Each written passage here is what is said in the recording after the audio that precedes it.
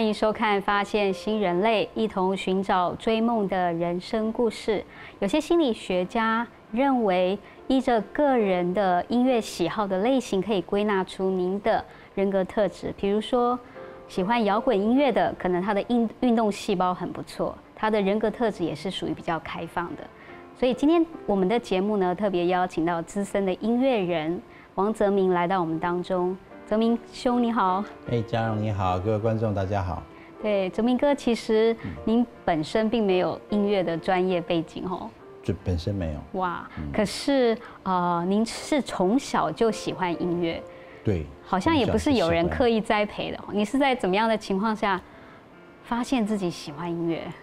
其实一开始是姐姐喜欢听音乐哦，所以受姐姐影响。呃，她，但是她买唱片然后再放的时候，通常。一张唱片不会放多少次，对，就是剩下的时间就是我一直放唱片，哦就是放着放着他的买回来的唱片。哦，所以你变得你比他还热情。对，我比他更喜欢音乐。对对，那你小时候会自己去买唱片吗？对，我是小学五年级的时候开始买了我人生当中第一张唱片。哦，在怎样的情况下，各位？描述一下，因为小时候小五其实算蛮早熟的。我那个时候是这样子，在在电视上看听到了一首歌。哦，你是在电视。然后我觉得很好听。那他们在介绍的时候说他们是翻译歌，西洋的。对，翻译歌。嗯。所以于是呢，我就自己搭着公车到了到城市里面去买唱片。那已经很多年前嘞。非常非常多，对对对，所以这样的一个举动蛮特别的哦。小学对啊，真的是不太连连车都不太会坐的，但是我为了音乐，我会会愿意跑跑到那个人生地不熟的地方去买买唱片。后来你还怎么样自己开启了？就在大学期间你就创业，成立唱片公司，唱片行，唱片行哦对。所以你那时候的音乐梦想是什么？嗯。其实没有什么音乐的梦想，我就是单单纯纯喜欢音乐，而且喜欢把音乐的故事告诉别人。哦，我就会觉得会有更多的同好，对，能够被建立起来。对，所以因因着这样的一个热情，你后来真的在音乐界是就是有蛮累积蛮多的经验。对对，有哪方面的经验可以稍微跟我们讲一下吗？其实上中下游都待过了。就是唱片行音乐的上中下，对，或者是中盘呐，哦，发行或者是在唱片公司里头，呃，因为所做的事情真的都很不一样，对，每一件事情都会让我觉得非常非常开心，然后这个东西又是新的，那个东西又是新的，所以在唱只要是跟唱片有关的，我都会非常非常的有兴趣。所以你做的那些工作当中，你觉得你最喜欢的？卖唱哦，是这样，就是第一线哦。你喜欢跟第一线跟人互动，我我我所喜欢的音乐，嗯，对，那真的是很特别的。所以后来是在怎么样的情况下，您开始代理基督教的音乐？有一天，我们教会的传道人跟我说：“哎，Simon，你有没有想过要发行一些圣乐？”对，我就说没有，我从来没有想过。他就跟我说：“其实你可以发行看看。”对，那。我第一次我没有理他，对，后来觉得这个东西是完全不赚钱的东西。对对对。那后来，呃，他又跟我提了一次，是，哦，然后我就觉得，嗯，好，为了敷衍他，我就发了三十几封信到国外去。哇，你还蛮有行动力的。然后让国外的，就是用代理的方式，可能是最快的方式。对，基督教的。对，然后我就发了三十几封信，但是一封都没有回。对，所以那时候也放弃了哈。我就我当然就很哈利路亚赞美主啊！我觉得神没有开这条路，我就不用去做这条，不用做这个事情。后来呢？后来，因为那个那个时段里头，我非常的呃虔诚，我对神的话语，我我觉得非常非常有兴趣。对。然后我除了礼拜天在自己的教会主日之外，我礼拜礼拜天的晚上。傍晚的时候，就带着老婆，我们开着车到中立那边去查经。嗯，好，然后一查就查了好几年。对。然后，呃，我发现后来的半年，哦，发生了一件事情。什么？就是嗯，在那个查经的时候，那边的牧师就跟我讲说：“哎，等一下可以来我家，我们聊聊。”嗯哼。那结果后来我就去了他家，那聊啊聊的，然后牧师就跟我说：“三曼，我有一个感动，我要告诉你，我觉得神要使用你。”嗯。那那个时候我会觉得神要使用我，可能就是要去。当传道人啊，当牧师啊，对，或者是出国当宣教士啊，然后搞不好还客死异乡啊。对我来说，有点担心。这个是我不是我要走的路，对对，我就我就不要。但是后来这牧师讲，他说，我我真的不知道上帝要使用你要干什么。对，你最近可以看看，嗯，去注意一下有什么不一样的地方。哦。那天晚上，那天那天讲的是礼拜天的晚上。我第二天其实我就就看到了不一样的事情。哦。就是我我当我坐在我的办公桌前面，我看我的 email 的 box，我就看到了六封信，是我完完全全陌生的信。哦。有三封是欧洲的，三封信是美国这里的。对。啊，其中有一封信，他说我们祷告了半年，我们决定跟你合作。哇，所以后来你就成立了基石音乐吗？当时是在什么时候成立的？那个时候我跟神讲，我说，嗯，上帝啊，如果你真的要我做，你要给我人，我没有人，对，我公司里的人每一个都不是基督徒，对，你要找基督徒，对，后来就真的来了一个基督徒，他自己自己主动按门铃，要找你，要来找我们，对，后来我们即使就。要成立了，对不对？对对，就后来就在四月一号成立。哇，嗯，愚人节成立。所以那我们要聊一下哦，就是所以那你最早接触基督教是在怎么样的时候？我很小哦，大概我看幼稚园的时候吧。对，幼稚园那时候妈妈就把信仰传给我。对，那后来你有受洗吗？有，我是在国中国二升国三的那年暑假。嗯哼，那你受洗之后？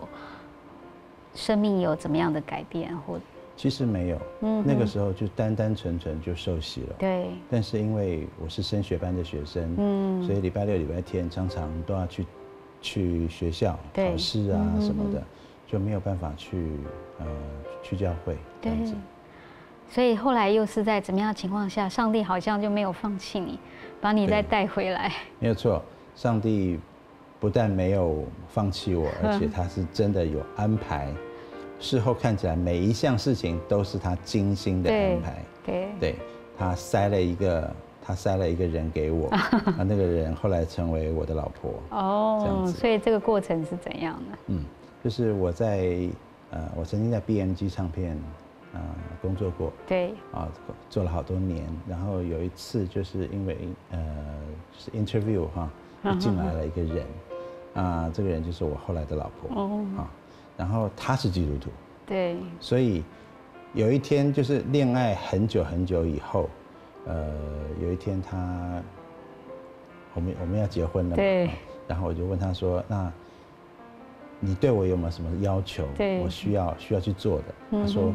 没有什么要求，我只有一件事情，就是我希望你礼拜天陪我去教会。嗯，那后来这个，我觉得这个愿望啊，非常非常容易达成。对呀，那我就跟着他进了他的教会。嗯哼。但是进了他的教会以后，呃，其实那个心理的层面，我觉得压力好大。为什么？因为这是一个重新回到教会，重新回到上帝，而且是十几年以后。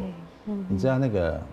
好吧，就算是浪子回头好了。对，真的有点像。那结果这个浪子回头的经验，会让我觉得我真的好不配。嗯。我真的觉得自己怎么这样这么久才回来？哎，我真的很愧对神了。嗯。我常常自责。嗯。在这上面，但是我也透过祷告，然后求神给我机会。嗯。但是那个。自责是一直都有的，嗯嗯嗯嗯，大概是这样子一个。后来是在怎么样的情况下，你觉得哎，上帝是把你那个自责就拿走了？嗯，我就是甘心乐意的侍奉，只要是教会有一些什么事情需要我做，我就来做。嗯嗯，在那段时间里面，我也呃特别的去渴慕神的话语，对，所以我买了好多好多的书，而且是很有的书是很硬的。嗯嗯嗯。我即便是没有没有去念神学院，但是我买的书都是那些牧师说你怎么买的，都是我们教科书啊。嗯嗯。都是这样子的书啊，什么教会历史啊，教会什么这些东西，那我一本一本的把它 K 完，这样子。对。我才更了解教会。对，也花时间追求神哦。对，所以其实你以前呃出版过一些流行音乐，对，到现在到那个那个阶段，你就开始代理基督教的音乐，甚至有的时候是会赔钱的哈。对。后来是怎么样的动力哈，让你过程让你可以继续坚持下去？嗯，在那个赔钱的过程。好，我我我我相信，因为台湾的基督教的。比例真的是不高，对那个时候，对不对？对对，两千年，我相信也不太高了。对对。然后，当然比例不高，那个市场就会很小。对。所以我我抗拒了很久很久。对。但是，我就从每一次的服饰当中，我经历到神的同在。对，你可不可以举例，就是说在上帝怎么鼓励你哈？当你走不下去的时候。嗯。就比如说我在第三年的时候，嗯，我曾经呃收到一张从唱片行寄寄寄回来的回卡，哦，这个回卡上面写的很清楚啊，他是在台南的光南大批发买到了一张我们的唱片，对，然后上面写说，呃，我我很感谢你们，因为这张 CD 我进了教会，我明天要受洗，对。我听到，我看到了这个这张卡片以后，我真的眼泪就飙下来了，嗯嗯就觉得说，主啊，我真的什么事情也没做，对你只是，我只是把东西丢到唱片行里面而已。有一个人就受洗了，嗯哼，这个人还有写回卡回来，会不会有其他的人也是这样子的一个经历呢？我就开始觉得这个这个。工作是很有使命，对，是有。我应该要老老实实往下做。对对，所以那个时候，你的你觉得那个音乐的使命是什么？就是传，就是用音乐用音乐来传传福音。对，嗯哼，这是我们呃一直有的一个看见，而且我们的很大的一个一个做法，就是我们希望我们的我们所发行的音乐。是往外头传，除了基督教书房有货以外，要在外更重要的是外面的唱片行一定要有货。对，所以后来好像你们也发行蔡琴的对音乐嘛，对对对，我姐姐就很喜欢，是哈，她那一卷专辑，嗯，对，那张专辑很有深度。对，就是有的有一次我去一个眼镜行，哎，也听到他们在放蔡琴的。福音歌曲，是，对，所以是看到真的有看到上帝在使用，对，所以在这过程当中还有另外一次，就是我每几年我就会觉得这个事情我没有动力做下去，因为它哦，它的回收是不成正比的，对，在财务方面，对对对，是不成正比的。然后我们其实很容易就会觉得不太想继续做下去。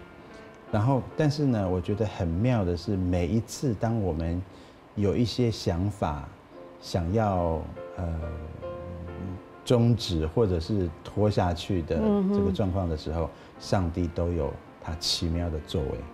嗯，还有什么例子？就是比如说，我们我们在有一些心里面不想做的时候，上帝就会用一些国外的歌手或者他们的行动来告诉我们，我们。应该要持续做下去。嗯，对。就比如说，我们有我们有带了一个呃团队叫 Newsboys，Newsboys 它是一个非常摇滚乐的一个一个福音团队。哦，真的。嘿，嗯，他们呢，就是背后绑了很多的施工。嗯哼。啊，其中有一项就是他要为那些风灾，还有一些地震的一些。家庭他们无家可归了，他们去负责募款，为他们盖组合屋，到处去盖哦。这是国外的对一个美国的团体，嗯。所以我觉得非常非常感动。对。然后后来又看到其他的许多的歌手，其实他们后面都绑了一堆的施工，嗯，有的有的是成立孤儿院，有的是拯救雏妓，哦，太多太多了，有很多我真的我真的看到他们国外的一些基基督教的这些福音歌手，他们这么的愿意做，嗯那反观国内呢，我们是不是也有这样呢？对。嗯，后来我才发现，我们国内真的比较没有，的确，所以我们就觉得说，如果主如果可以的话，对，你也希望我们也希望我们的一些福音歌手能够走到走到外头去，去帮助别人。嗯，所以其实，在这个过程中，哈，就是基石音乐创立以来，你觉得在这样的过程中，您个人生命因着这个施工有怎么样的更新与转变？我觉得最大的更新就是在我们心理层面上面呢、就是非常非常的满足。嗯哼，对，因为有什么？